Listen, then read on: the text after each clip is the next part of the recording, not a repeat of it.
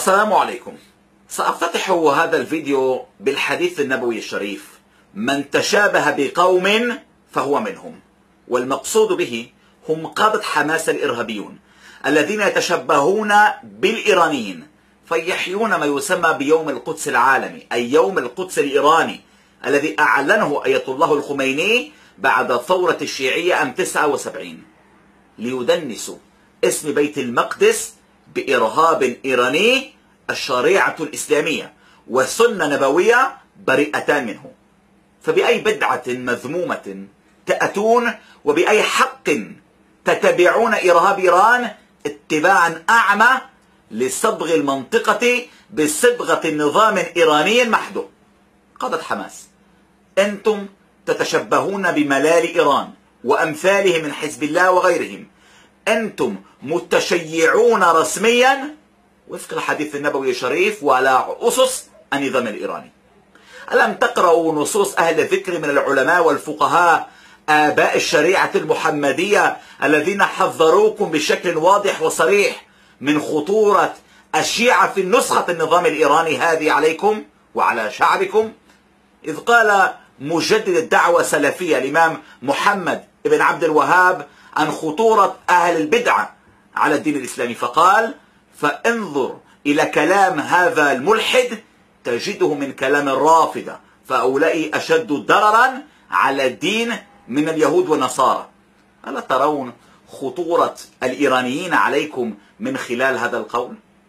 فتنهلون بشتم ولعنة على من ينصحكم ويهديكم بينما هو من غير دينكم. وأقصد أنا وتتبعون أو تتبعون الإيرانيين الذين هم أخطر من أي إنسان آخر أو من أي جهة أخرى عليكم.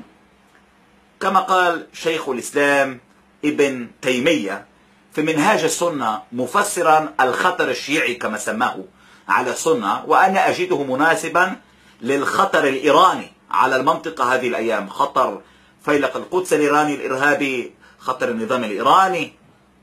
فقال وعلم أن أصلهم ومادتهم منافقون. اختلقوا أكاذيب وابتدعوا آراء فاسدة ليفسدوا بها دين الإسلام. أما زلتم توالون هؤلاء الفاسدين وأنتم تدعون الإسلام واحترام الإسلام وتوقير علماء الإسلام.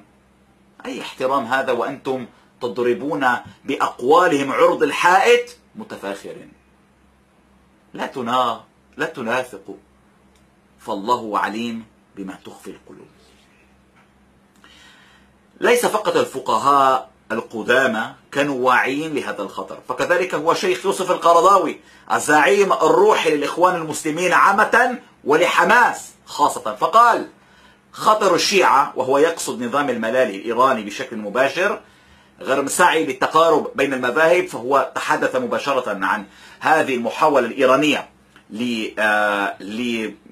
للغزو الفكري في العالم السني فقال خطر الشيعة في محاولاتهم غزو المجتمع السني وهم مهيئون لذلك بما لديهم من ثروات بمليارات من يتوالى منكم النظام الإيراني وموقفه العدوانية؟ فإنه منه وهو يلقي بنفسه إلى تهلكة. لا تنقادوا وراء قيادات إرهابية فاسدة. هدفها جركم نحو دمار. فإن حاولتم التخريب تحت عمامة إيرانية ستلقون فشلا في الدنيا وعذابا في الآخرة. فاعتبروا يا أولي الأبصار. والسلام عليكم ورحمة الله وبركاته.